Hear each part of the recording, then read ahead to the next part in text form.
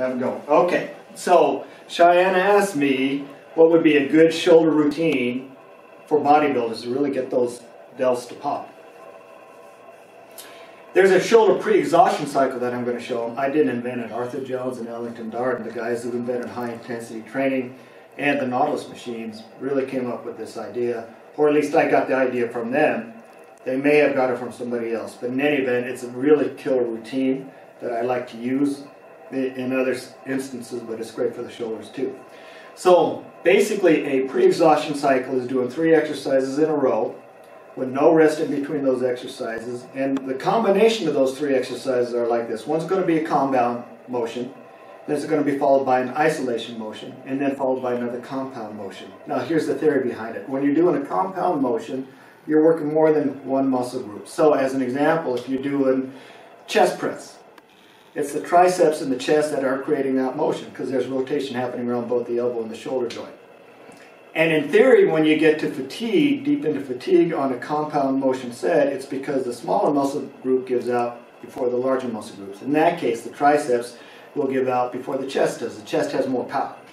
So the theory is if you do a compound isolation compound, you'll make the chest work harder in that case and allow the triceps to rest. As an example, do the dumbbell press to failure, and then immediately followed by a set of cable flies where the triceps don't have to work, but the chest does and then immediately go back to another set of dumbbell presses. The triceps are fresh, the chest has to work even harder still. So we're going to do that same concept with shoulders. I'm going to have Shayan do an overhead press to failure, then I'm going to have him immediately go to a lateral raise to failure, and then once again back to overhead press to failure. No rest in between those sets. Now on the third set, I'm going to have him do a lot lighter weight than his first set because he should be pretty cooked. So on that third set, he's going to be doing 35 pounds. On the first set, he's going to be doing 60 pounds.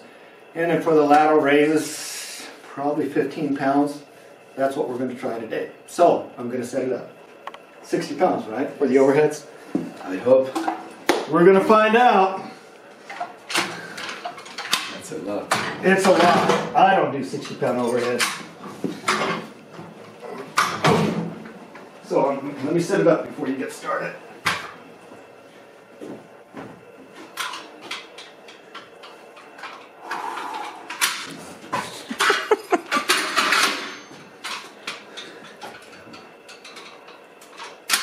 Okay, so here's how it's going to look.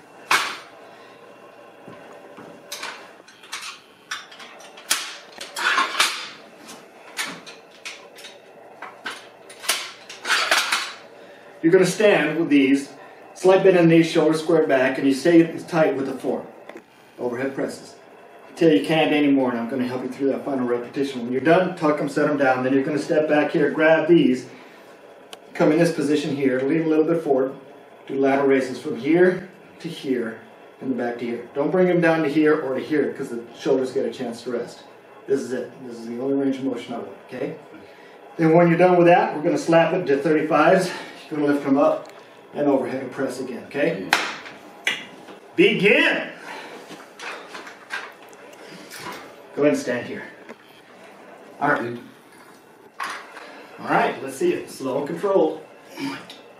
All right, stay tight. There you go. That's good. That's good.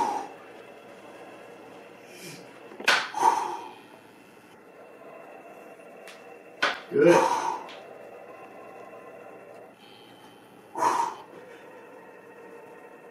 Good, good. All right, go ahead and set them down. Lateral raises, right now. Okay, perfect. Now bring them up right there, back down to here. That's it, not that, not too low. To right there, now back up, okay? Slow and controlled. Good. Don't speed it up. Good. Keep going. Come on. Come on, come on, come on. You got four more. Arm straighter, arm straighter, arm straighter. Come on, I'll help you out. Arm straighter, arm straighter. Keep them straight. Now go. Don't jerk. One more. Smooth, smooth, smooth. Hold, hold for five. Hold. One, two, three, four, five. Down slowly. All right, set them down.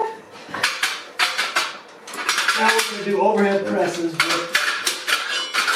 Actually, we're going to do with 25. You're looking pretty cooked. One more lower. Lower, one more. One more lower. Almost. Lucky you've got a little bit of a break. Now go. Same? Same. As many as you can with slow and controlled form. There you go. That's it.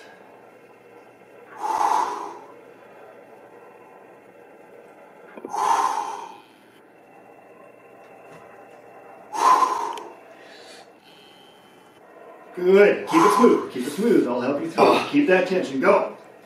Good. Come on, come on, come on. Excellent. You have two more. Don't quit. Stay tight. Go. Push. One more. Slowly. That's it. Slowly. Now down slowly. Slowly, slowly. Good. Touch and them down. Ah, There you go. So let me explain a little bit about why I did what I did.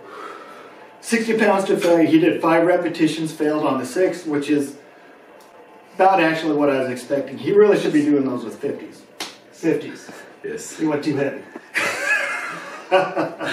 then I had him do lateral raises with 15 pounds, which was about the right weight. Now, the reason why I had him hold for five seconds at the end of that is because he started cheating too much on his form when he got close to failure.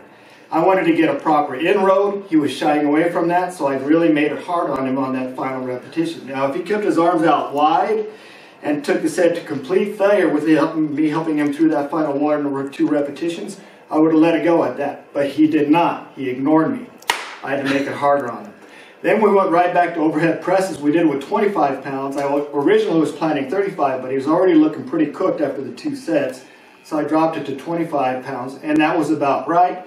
He did what, 10, 11 repetitions before fatigue, and he did that one with good form. He got a decent inroad on his shoulders today. Three sets, that's all he needs. That was brutal.